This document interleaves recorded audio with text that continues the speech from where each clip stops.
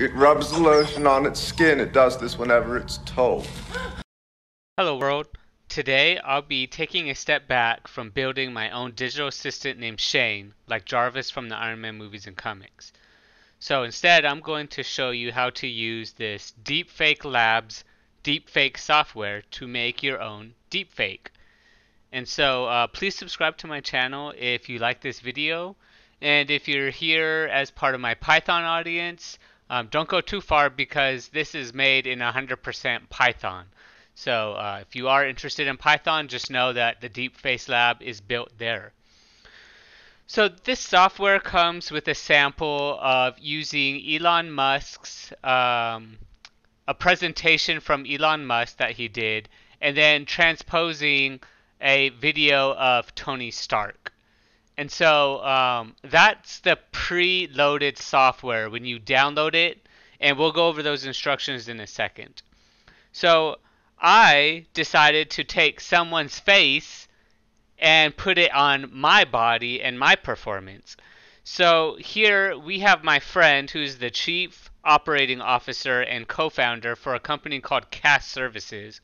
And basically they're like the leaders in this high-tech real estate space, right? This isn't just a standard real estate agent, right? We're talking high-tech stuff here.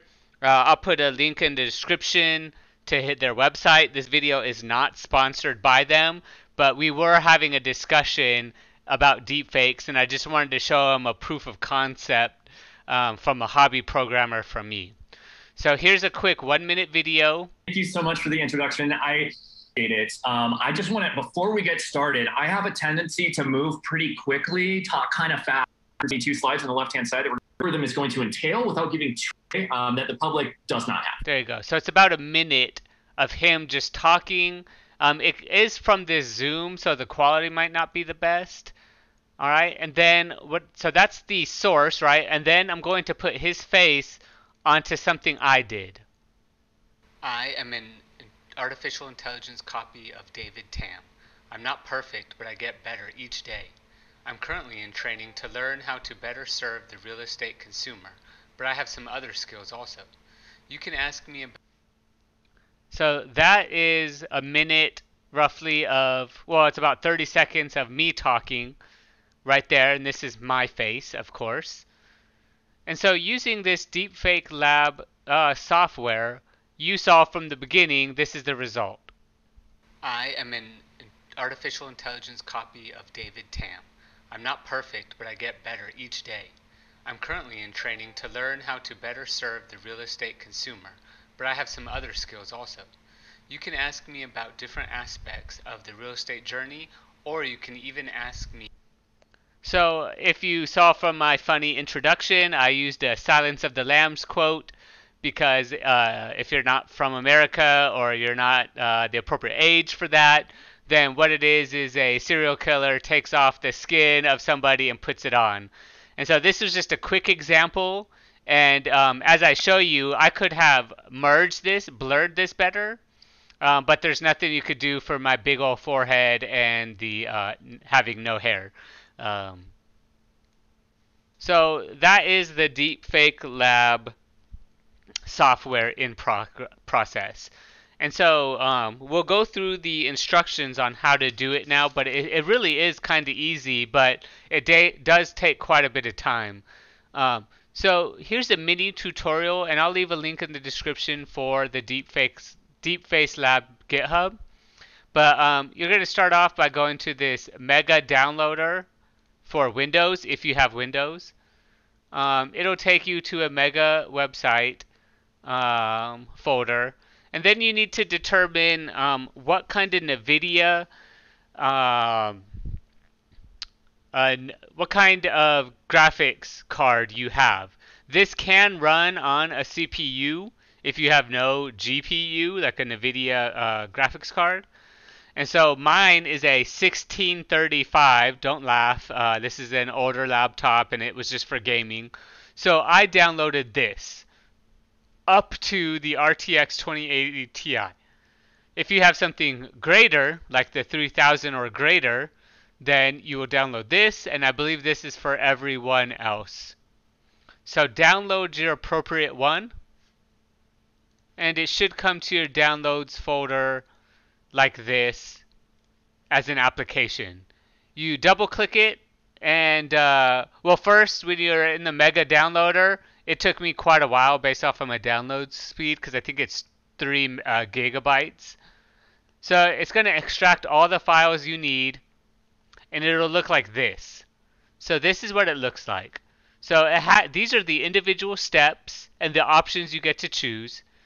Then you'll have this thing called workspace, right? Your workspace, this will be empty, this will be empty, this will be empty. These will not be there, of course. And you'll just have this data destination, right? Data underscore DST, and it must be called this. And then you'll have the data source, data underscore SRC. So I called these OG just so I had them. But basically, it puts Tony Stark's face on Elon Musk's body and appearance. or in my case, I put David Tam, the COO, um, his face onto my body and performance. So what you'll do is you'll go to this clear workspace and then press any key to continue and it'll clear the workspace. It should say done immediately and this should be continuous to be blank. So then the next thing we're going to do is this extract images from video data source. Now this is highly customizable, but just for my proof of concept, what I did was um, just use all the default settings. So uh, So since I'm recording, this is taking quite a while.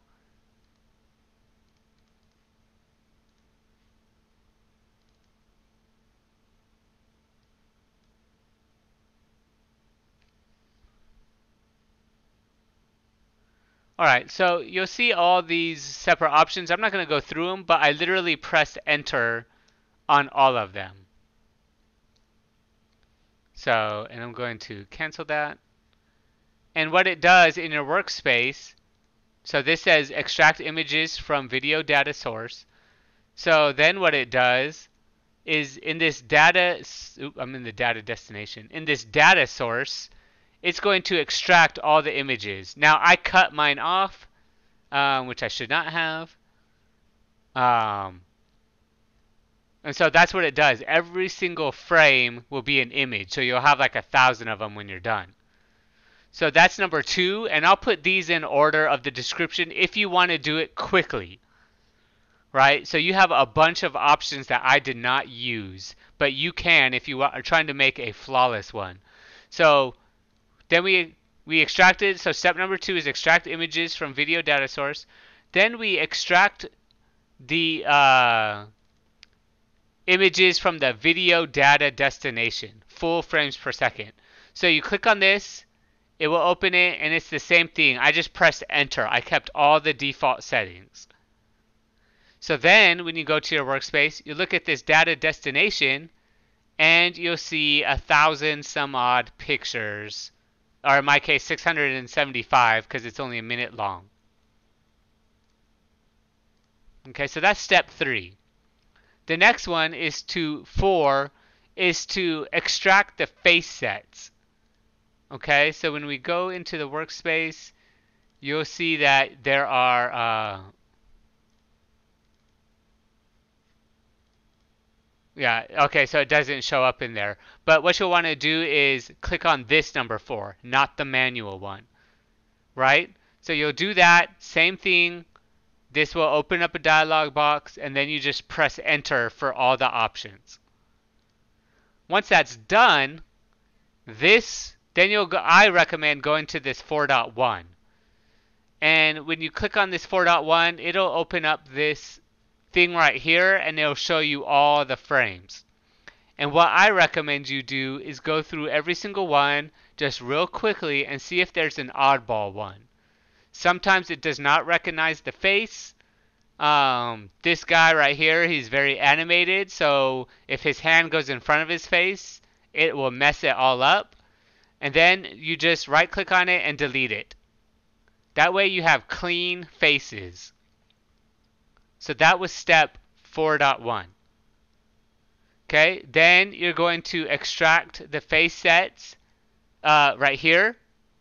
Right, we're not doing it manually, we're doing it here. You do that, and then right after that, you do this 5.1. And that's the same thing, but with the other file. So here's all of my pictures, and you'll just want to quickly scroll through them and see if there's any that are not right. Now, I look directly at the camera with no changes and I'm not very animated, so mine are pretty good. But if you see one that's just not a face, right click it and then delete. Okay, so that's 5.1. Then you'll go into this uh, train uh, quick 96. Right, so we're going to open that one. And this uh, this is where you actually train the model, and this is where it takes uh, a longest. So um, I just pressed enter through all of it, but you will have to name it. So I already have one in there called second attempt, and um, so that's the latest one it's going to train on.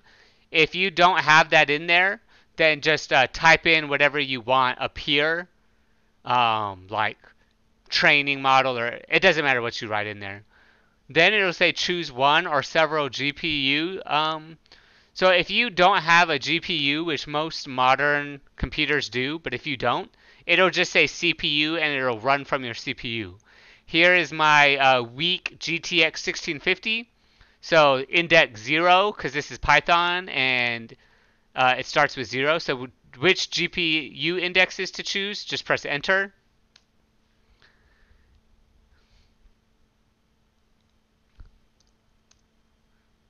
And see it, it's selected zero for me. And what it's going to do is it's going to uh, start the training um, start the training right here. It says initializing models. It's going to load samples. And then it's going to give us this uh, kind of this graphical user interface to show. Now remember I've already trained mine for a little bit. So here's more stuff right here um, it's going to start. And um, I've trained mine only to 9,000 times. So this is 9,047 iterations. And so that's why it looks clear. Um, I think the recommendation is 50,000 iterations. So depending on the speed of your GPU will determine how long it takes. So you have some options. You have save, B to back up, enter, and the, if you just press enter, it'll stop. So it'll save the progress. Yours will not look like this in this columns if you're just starting out into a zeroth uh, iteration. Then you have P to update. So let's look what that looks like real quick. So about 60 iterations come up and these just get better and better. So if you're trying to do something professional, I recommend 50,000 or more iterations. Alright, so you could just keep pressing P and the iterations will update. And as you can see, this is a loss, um, right? And it should get all the way down to zero. That's the end goal, right? No loss, right? So this is, I imagine, is loss. And like I said, I think this is PyQt5. Um, so for all my Python people who are here for Python, um, this is using Python 100%. So I'm going to press enter to uh, save the model. And it says done. Press any key to continue and it'll close it. Then you'll want to merge the Quick 96. So we're going to do that together.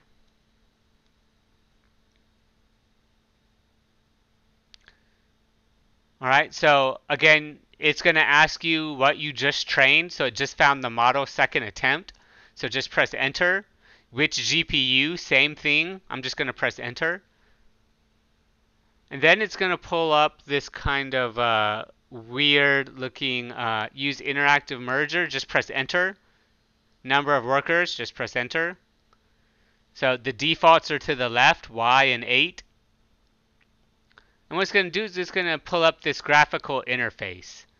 So here is, you don't have to memorize these because what you can do is you can switch screens, right? We're going to press tab. That's what this is, tab. And uh, since I'm recording, it's going to take a while. So this is the very first frame. If yours is not like that, press tab again. And what you'll want to do is go to this next frame by pressing the right caret. So, but we are on a good frame. So if yours is all black or something went wrong, just press the right caret right here for next frame. And so what we have here, let me move this. These are all the details about this frame. 0001 is the first frame. So all of these are set to zero right now. So press tab and say you want to do the erode mask, right? So erode is W, mask is S. So I'm going to press W, and there you go. The erode mask modifier changed to 1. See, and it's making it smaller. So I'm going to press S, and this changed to 1. I'm going to press S again, and it changed to 0, and this gets bigger and bigger. So press tab. Let's do the blur mask. That's E and D. Press tab again. So let's press E. Now the blur mask modifier changed to 1.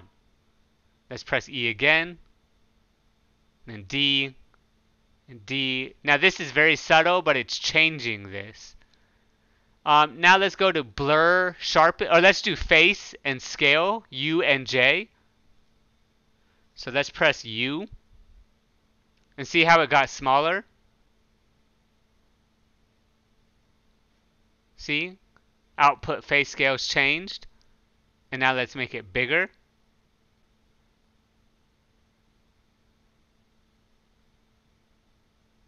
So that kind of looks a little bit better, to be honest. So let's say this is what I like right here. What we're going to do is it says process or override CFG up to the last frame right? Or override the current configuration to next frame. So if we want this to do, all we do is press the question mark and the up arrow.